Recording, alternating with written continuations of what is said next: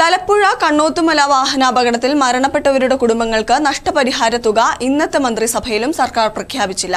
അപകടം നടന്ന് രണ്ടാഴ്ച പിന്നിടുമ്പോഴും ധനസഹായം വിതരണം ചെയ്യാൻ യാതൊരുവിധ നടപടിയുമില്ല. പുതുപ്പള്ളി ഉപതെരഞ്ഞെടുപ്പ് പെരുമാറ്റച്ചട്ടമായിരുന്നു ഇതുവരെയും തടസ്സമായി പറഞ്ഞിരുന്നത്. മലപ്പുറം ബോട്ടപകടം ഉൾപ്പെടെയുള്ള സംഭവങ്ങൾക്ക് ഉടനടി നഷ്ടപരിഹാര തുക നൽകിയിരുന്നു. നിർധന കുടുംബങ്ങളിലെ ഒൻപത് സ്ത്രീകളായിരുന്നു കണ്ണോത്തുമല ദുരന്തത്തിൽ മരണപ്പെട്ടത്. നാടിനെ ആകെ നടുക്കിയ തലപ്പുഴ കണ്ണോത്തുമല വാഹനാപകടം നടന്നപ്പോൾ മന്ത്രിമാർ ആശ്വാസവാക്കുകളുമായി നേരിട്ട് ഓടിയെത്തിയിരുന്നു. കുടുംബാംഗങ്ങളുടെ സാമ്പത്തിക സ്ഥിതി ഉൾപ്പെടെ കുടുംബാംഗങ്ങളിൽ നിന്നും മന്ത്രിമാർ ചോദിച്ചറിഞ്ഞു.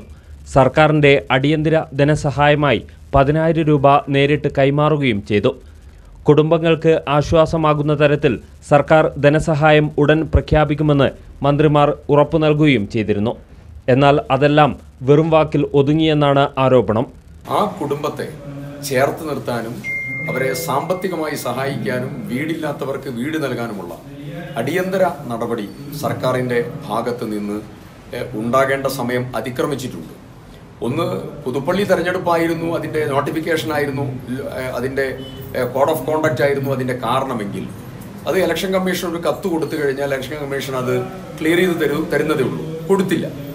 ക്യാബിനറ്റ് മീറ്റിംഗ് കഴിഞ്ഞു. ക്യാബിനറ്റ് മീറ്റിംഗിൽ ഈ തീരുമാനം വന്നില്ല. ഞങ്ങൾ ഒരു കാര്യം വളരെ ഉത്തരവാദിത്തത്തോടുകൂടി പറയുന്നു. വളരെ സാധാരണക്കാരായിട്ടുള്ള ആളുകളെ ചേർത്ത് നിർത്താൻ ഉള്ള ഉത്തരവാദിത്തം സർക്കാർ കാണിക്കണം. ബഹുമാനപ്പെട്ട മന്ത്രിമാർ ആ സ്ഥലത്ത് വന്ന് പറഞ്ഞ കാര്യമാണ്. അപകടം നടന്ന് രണ്ടാഴ്ച പിന്നിടുമ്പോഴും ദുരന്തബാധിതരുടെ കണ്ണീരൊപ്പാൻ സർക്കാർ തയ്യാറായിട്ടില്ല.